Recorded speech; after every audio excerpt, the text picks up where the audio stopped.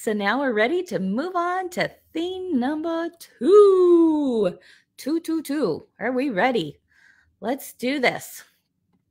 Okay.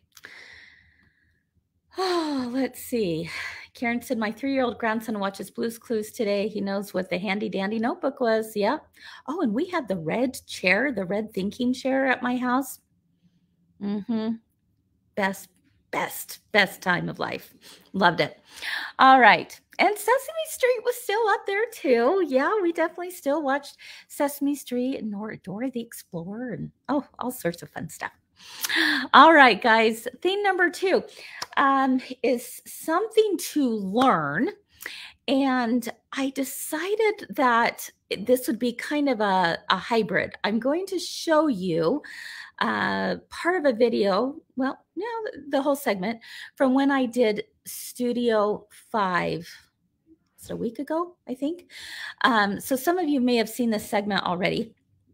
We posted it on Facebook, but there were questions about how I ended up finishing these pumpkins. I'm going to show you these fun little pumpkins. So we'll watch the segment together and then I'll go into further detail. You know, the, the when I go on Studio 5, you have about um, a seven minute block to try and get it all in.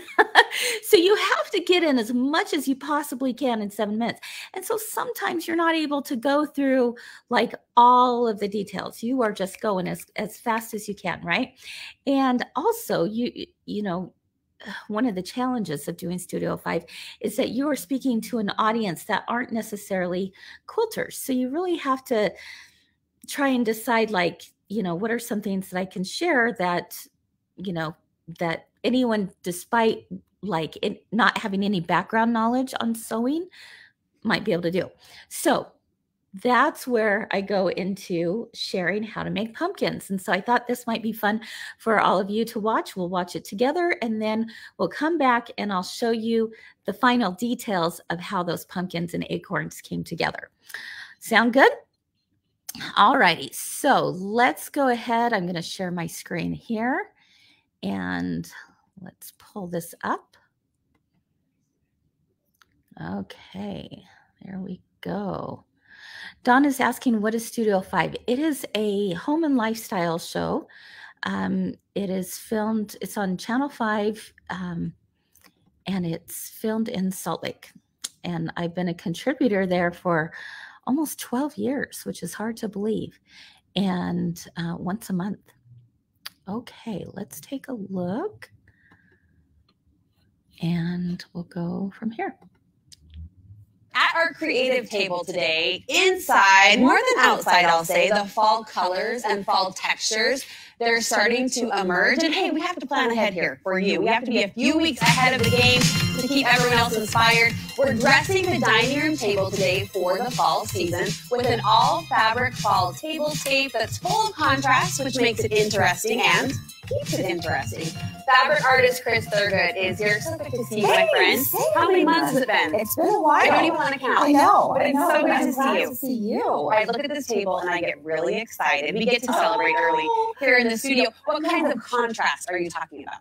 Well, first of all, you know, just being able to have the cooler temperatures definitely makes you, you know, feel fall. Oh, and like you said, you know, if you're a crafter or a quilter or a creator, you got to start now, Yeah. right?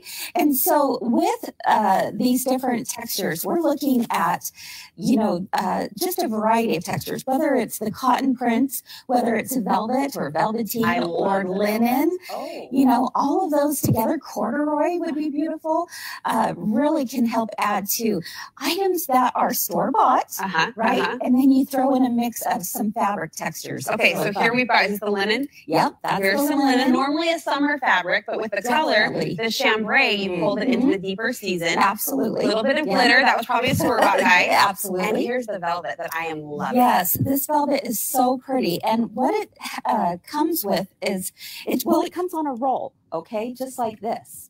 And you just roll it out, and it's more of a velveteen. Okay. So it's not as pricey as like a real velvet Uh-huh. would be, but it still has a very soft, subtle, luscious feel. It has a little shimmer, you know, depending on where the light is hitting it. Yeah. So it just gives a great texture to it. what does this fabric bring or mean for sewers? Is it is it a finicky fabric? Is it tough to work with? it is not finicky at all. Good. It is so easy. Your needle's going to go through it like butter, and it's just easy. Uh, It's not going to shed or, um, you know, fall apart. You gotta say it the real way, like butter. like butter. Exactly. there, I knew she'd Butter. play with me. All right, so show us how you did these cute pumpkins. Okay, so the way I did it is, I know this may seem a little strange, but it, rather than we might think of a pumpkin as starting out as a circle, Right? but we're going to actually Finger. start with Finger. with rectangles. In fact, we're going to do two rectangles. Brooke. Okay. And so I've cut out two rectangles, both the same size. It doesn't matter what size you do. You can make small pumpkins. You make, can make huge, large pumpkins doing the same technique. So what I'm doing is I'm putting right sides together right here. Okay, velveteen on velveteen. Velveteen on top of velveteen. hmm And then I'm going to take it to my sewing machine and just do a straight stitch. That's all you have to do. And you're going to stitch down both short sides. And I've heard the sewing machine goes through the velveteen like butter. Like butter. Yes. Mm-mm. Yes. All right. So here we have through the magic of television, right? Yes. We have this already done, that this has been sewn down on both sides. This is why I'm Easy as can impatient everything, an impatient cook, and an impatient aspiring seamstress because, like the magic of television, it's done for me, right, right here in this lightning You, speed you pace. absolutely can Okay. do this though, my friend, because take a look. All I did was two seams. It's created a tube. I turn it right side out and then Oh, I there it is. Yep, there it is. And I'm going to actually now hand stitch this, but Okay. don't let that scare you.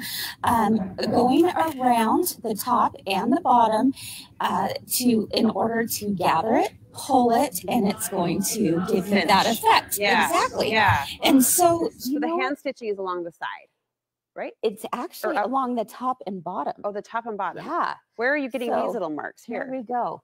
On Like the, the side puckering. is afterwards. Oh, we can actually take more thread, pull it on the sides, and cinch it. If you want the cinched, poofy, tufted look. I love that. If you don't mind having just the full look like this, you can do it either way. Because it kind of pleats for you anyway, Ex- but I do like that tufted look. That's really I know fun. it's kind of fun.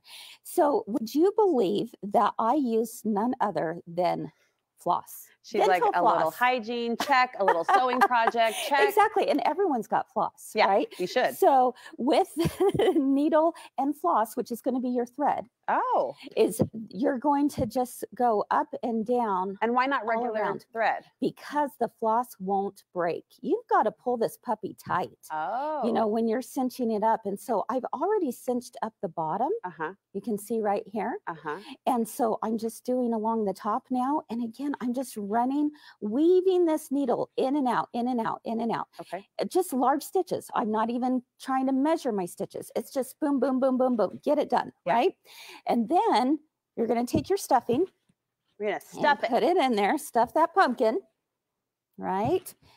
And then once you're done with that, stuffing it as much as you like, you're just going to take your ends This and is where the floss helps and out. This is, yes, because I, trust me, I've done it with thread before, Yeah. and there's nothing worse than having that break. Who would have thought dental floss was the solution? exactly, and you're not going to see it, but look how tight that goes up. So cute. And so I'm just going to tie it in a knot. And look, she was right. The rectangle became a pumpkin. Mm-hmm. The rectangle became a pumpkin. Pretty Yep. sweet, right? So then to make the cute little top, what I did was I added a cinnamon stick, something else Mm. that you're going to find. Another texture, Mhm. another fall So we have little cinnamon sticks right here. Uh, you know, you can pick those up at the grocery store, Cute. place it in with a little hot glue, and you are good to go. Okay, I've got about a minute left. I want to point out some other details. I love Okay. how you've added the twining and the burlappy Yes, kind of definitely. fibers. Well, take a look at these little acorns. That was what I wanted to ask you about. So cute. Uh, you know, these are just little acorn caps. You can find them on the ground. And you put those on felt balls? And you, all I did was I took a little glue gun, Okay. dabbed on my, you know, put a little bit of glue This inside is so smart. of the acorn top, Yeah. And here you go. That's This as easy so as smart. it is. Who looks at a felt ball and says that could be an acorn? Kris does. Where do you get the acorn top- toppers? Just in the craft store? well, you could, but Oh. you could also find them On a walk. on the ground. I see. I see what you're doing. Right? So you definitely you can find them at a craft store, you can find them online. Cute. Um, but you can definitely, most certainly, Forage. find them on your walk. Get out there and get them, right? Exactly. While They're- you're looking at all the fall leaves. And just how you've draped and layered, it just is oozing with that texture, Thank that you. contrast is screams fall. I think it is all about the layers. Definitely. totally. Yeah. Thank you. What's coming up You're at the shop? You know, we have lots of things going on. Uh, we have new machines that have just come out from our manufacturer. So if someone's thinking about a new machine for the holidays coming up, then come see us. Uh, we have our stores in both Sandy and Logan, Utah, and we also have everything available 24/7 online at mygirlfriendsquiltshoppe.com. Awesome. Thanks for inspiring us You today. bet. Happy fall. Can I say it? Yes. Happy fall, my butter friend. Very fun.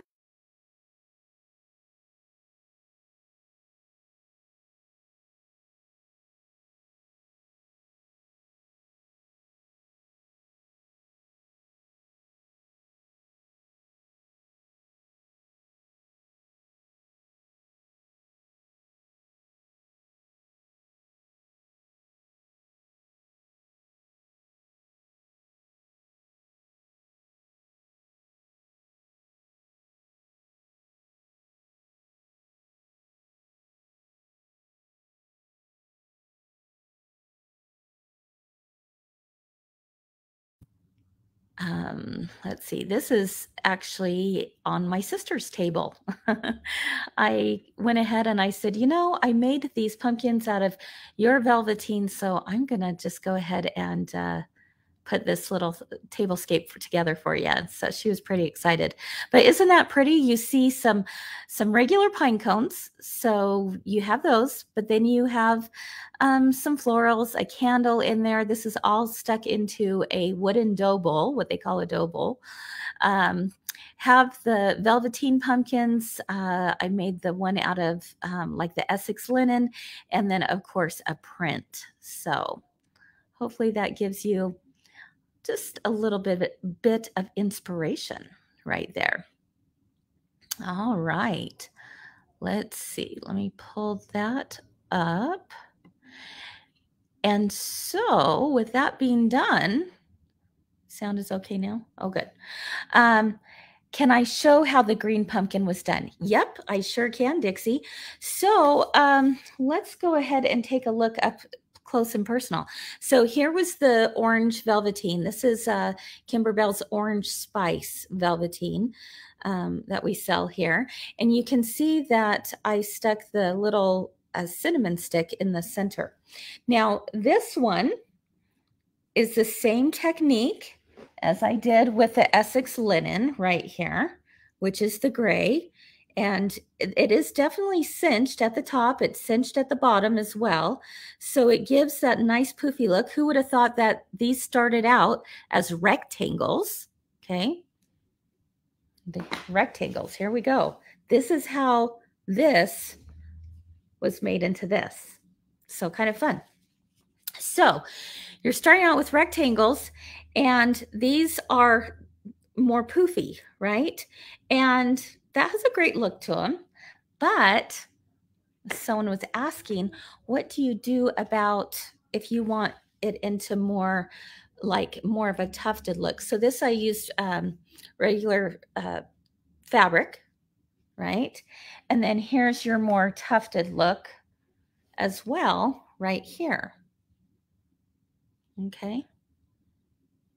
And you can see how each of those are divided into sections. And so this is where I was unable to go into further detail because, again, the segment is like seven minutes and that's it. Um, and so I wasn't able to talk about how to really divide this. So that's what I want to share with you today. So, as I mentioned in there, and some of you are referring back to this, you like my tip on using dental floss. It's one of my most favorite items to use when it comes to hand sewing. Would you believe that? It's just plain old dental floss. That's it. Nothing fancy. But I'll tell you and I bet you guys can all relate to this, is that uh, there's nothing worse than you're doing thread and you go to pull it and pop, pop, it it just starts to um, come undone, right? And that can be very frustrating. So you're going to use dental floss instead. There is nothing stronger, unless of course like a carpet thread or something like that. But we've all got dental floss, right? So here you go. Very, very strong. It's not going to break. So, um, as a quick review, when I sewed these two rectangles together, remember that you're sewing on the short sides, the short sides, and then you've created a tube and you turn it right side out, and then you're going to take the dental floss and just weave it all the way along the top, pull all the way down the bottom, pull. And that is what's going to give you this. So this was my next step that I was showing Brooke, but we didn't have time to go into how to segment it. So you can see right here, I could play around with that a little bit so the floss wouldn't show. But it's not that huge of a deal because this would be on the bottom. This would be on the top. This is where you could roll a piece of felt if you wanted to, or um, as I showed in the video, I did cinnamon sticks, which also kind of has a, a fun look, feel, and smell, right? So um, it the other fun thing about this is that you can start out with any size you want. So when I did this one, I, I used one of these from Kimberbell. Okay. And I was able to get two pumpkins out of one roll. Uh, and basically, what I did was I just unrolled it, folded it in half, cut it on the fold, and then uh, folded it in half the opposite direction. So I ended up getting four rectangles that were all the same size out of one roll. So four rectangles out of one size will give you two pumpkins. All right. So, um, yes, Nancy, yes, uh, the, the, the, pumpkin in the Kimberbell event, Home Sweet Haunted Home, uh, was also done in the same method of doing two rectangles, sew the sides, you're sewing the short ends, and then you're cinching the top and the and the bottom. The roll is 12 by 24, 12 inches by 24. Now, on this pumpkin, I used the sage velveteen. Okay, so don't be afraid to play with different colors of pumpkins. Um, you know, that more natural, earthy look is really in right now. So you can see how beautiful that would become. All right, so I've cinched it up on both sides, right? And I've stuffed it. And now I'm ready to start segmenting it. So you want um, like a yarn needle for this, something with a bigger eye so that your dental floss can go into it. And then um, I'm just going to start stitching. So I'm going to come up from the bottom and go through the top. Okay, I'm going to pull this down here. Let's see.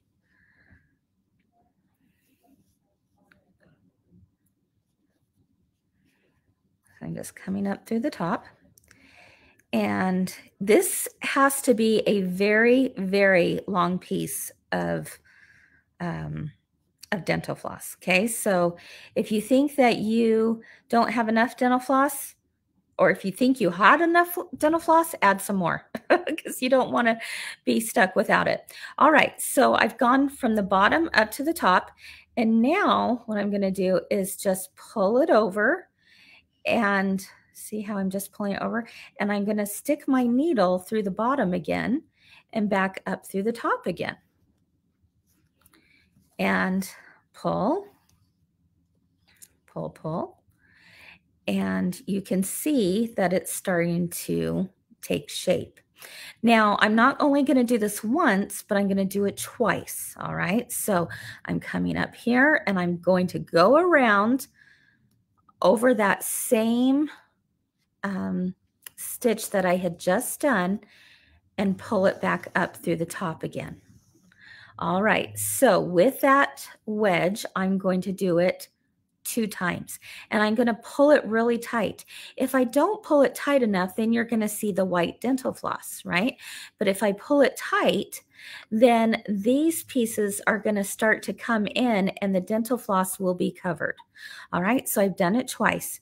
Now I'm going to turn it to the opposite side and I'm going to do it again, but this time going abs, uh, uh, uh, blah, blah, blah, what am I saying? Exactly opposite from what I just did. All right.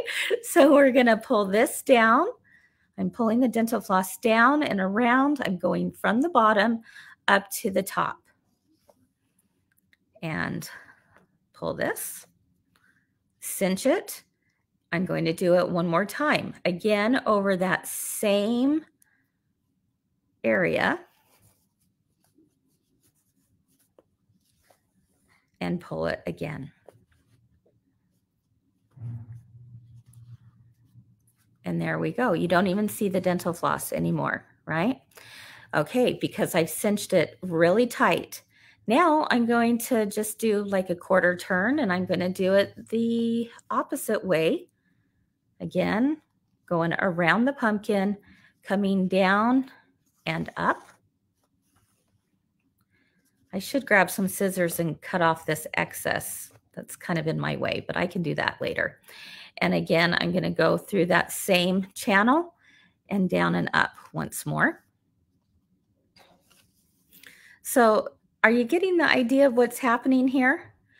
Now I'll go across. I've done that twice. So I'm going to come to the opposite side, do it again. I'm just coming around the outside of the pumpkin, going into the bottom, coming back through that same channel I had done before and up and around. Oops. There we go. All right, and now you can see that this pumpkin is starting to take shape. So I could do it in quadrants, um, you know, where I have four different parts of it, or I could take it another step further and now divide it into eights. And so I would just go again right through there, bottom up and around again, bottom up, going around the same place twice, and then opposite and opposite. And that is all there is to it until you have something that looks like this. All right, so so pretty easy. Um, let's see. What questions do you have on that? Uh, Jules says she loves it and she's going to give it a try. Yay! I'm so glad, Jules. Yeah, and you know, on this one, that this is my Essex linen that I did. I could have certainly done the same thing and divide it into wedges. So I like that I have some varying you know dimensions i like the the tall and poofy ones i like the the short and stouty ones i love them all so you know just have fun with that now, the other item, oh, I should show you. How about this for a cute little pumpkin? So cute. this is what I mean. You can do any size you want, any size. All right. So the other thing that I had showed um, were the little uh, acorn garland. And I actually left that one at home. I I can't find it. When I got to work, I went, where did I put my acorn garland? I don't know. So I don't have the finished one to show you, but you did see it on the video, right? So um, the other thing that I showed was how to take these little wool balls. So this is, um, I'm using the Kimberbell wool felt balls um, that they have, and they have them in three different colors, right? So now obviously the red and white ones probably are not going to work very well. The white ones would. I don't know if I've seen red acorns, but you know, Heck, I haven't seen pink acorns, but I think they'd be stinking cute. so it's totally up to you, right? Doesn't matter. Um, but this is where I took this idea from. I actually, uh, I don't have acorn trees around me, or else I, I would have absolutely done this myself, gone out on a walk and pulled, pulled some um, acorns, um, the tops off. Jennifer Hoffy, you've got acorn trees I'm seeing. So save me some. but if you have acorn trees in your area, you could do this. Or I did what some might call the cheater method, and I actually got on Amazon and found acorns um, that were fake acorns, right? But and they actually came with a little fake acorn. It was like a plasticky acorn. And I was like, mm, no, I don't want that plasticky acorn. So all I did was I just pulled it apart and then I had my little acorn tops. And then all you have to do is add some hot glue. I'm just going to put some hot glue in there. And here you go. And then you just glue it on top. And then you have these little acorns. and uh, and then we did like a, a little garland of acorns. And they're so cute with these wool with these wool balls. It's called scrub oak. Shauna said scrub oak. Okay there you go. I, I shouldn't say acorn trees. It's like an oak right? Okay. You have tons in massachusetts.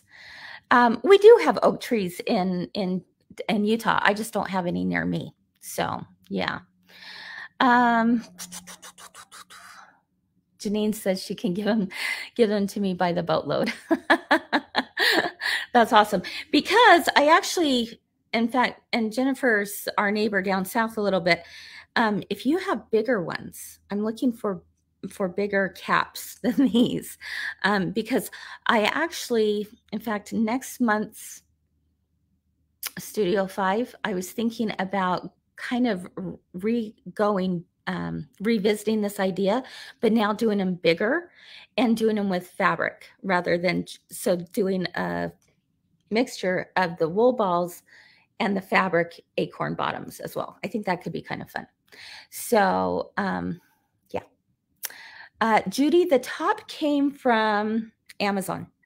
And it, like I got a, a like a bag of a hundred or so acorns and they were full on acorns not real they're they're the fake ones but and then i just pulled the the bottoms out and then replaced it with the wool which i think is kind of fun. So again and you're just taking um, hot glue for that. So great question. Um, cheryl says the squirrels steal them. There you go Pine cone tree. I've got a whole scrub oak forest, Kenzie said. I don't know. Here you go. Oh, Janine said, let me check for the bigger ones at the park down below me. I would love that. I'm yeah, I am looking for bigger tops or caps. Do they call them caps? Acorn caps? I don't know. But I think it'd be really cute. So I'm going to put the the pumpkins together with some pine cones and with acorns. And I think it would just be such a, a pretty fall tablescape. So I hope you learned something new um, and maybe we're inspired to try something. Um, maybe you've done these before. Maybe you've done a, uh, the pumpkins before, but perhaps in a different way. So kind of fun. Kathy asked me, what did you use for the garland to string them? I used baker's twine. Mm-hmm. Or you could use um, uh, jute. Jute would be another way. You would have to definitely have a larger eye needle to do that, but you definitely can. Judy said oak trees in Wisconsin. There we go.